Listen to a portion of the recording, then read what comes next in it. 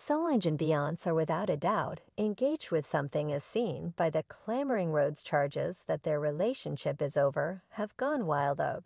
Did you notice that Beyonce's Grammy execution needed something, or rather somebody appreciation discourse? Yes, Solange Knowles is Beyonce's sister, Hey Everybody.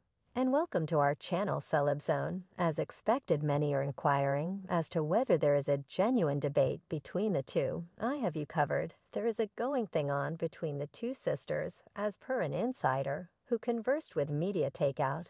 The insider guaranteed that we as a whole tracked down Solange's non attendance from Beyonce's most recent collection, to be interested, it's the kind of music Solange would truly appreciate. They likewise called attention to that Solange was not engaged with B's most recent undertaking. She hasn't posted anything empowering about Renaissance on Twitter or Instagram. I believe it's